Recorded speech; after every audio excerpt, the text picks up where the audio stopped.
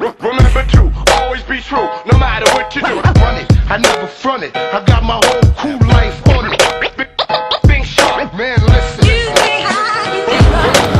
What's going on YouTube? Gabriel Sey, aka The Truth, checking in. This time with a tutorial for the calf muscle.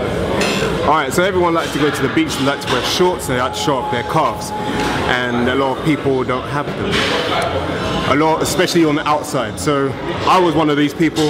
I'm gonna show you how to fill out the outside right now. Alright, so set yourself up on the calf press, calf raise even feet close together, push the knees out. That forces it on the outside of your feet, which then targets the outside of the muscle. Nice and slow down, squeeze all the way up. None of this, you're not riding a horse. Squeeze, down, squeeze.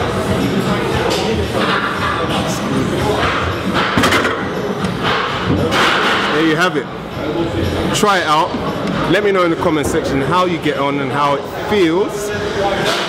Hope you enjoyed that video. Nice and quick. Don't forget to subscribe, like, comment, share. And until next time, peace.